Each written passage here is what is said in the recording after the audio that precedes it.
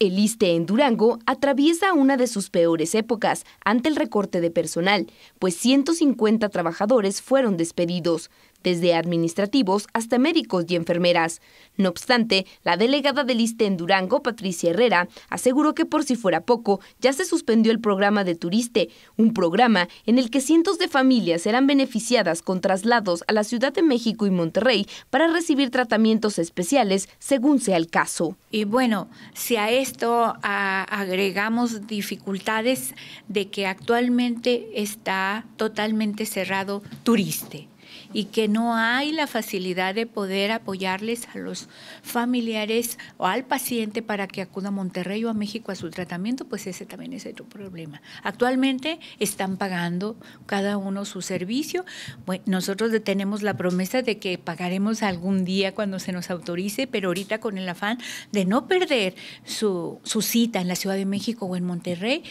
los derechohabientes están pagando ellos su traslado. Agregó la funcionaria federal que a la fecha a 60 pacientes se les ha suspendido el traslado a la Ciudad de México y Monterrey y por su cuenta han tenido que cubrir los gastos. Aproximadamente del mes pasado que terminó esta situación, un año muy difícil también, pero por el mes de diciembre,